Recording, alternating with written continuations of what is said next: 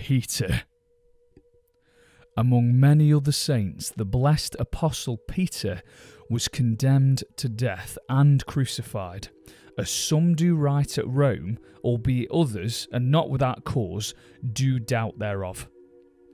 Hegesippus said that Nero sought matter against Peter to put him to death, which, when the people perceived, they entreated Peter with much ado, agitation, that he would fly the city.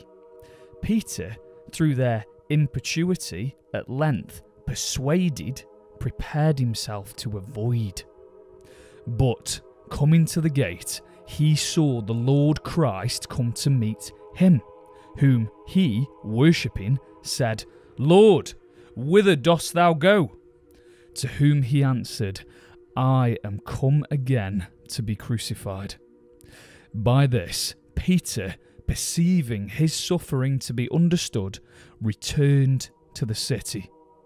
Jerome said that he was crucified, his head being down, and his feet upward, himself so requiring because he was, and he said, unworthy to be crucified after the same form and manner as our Lord was.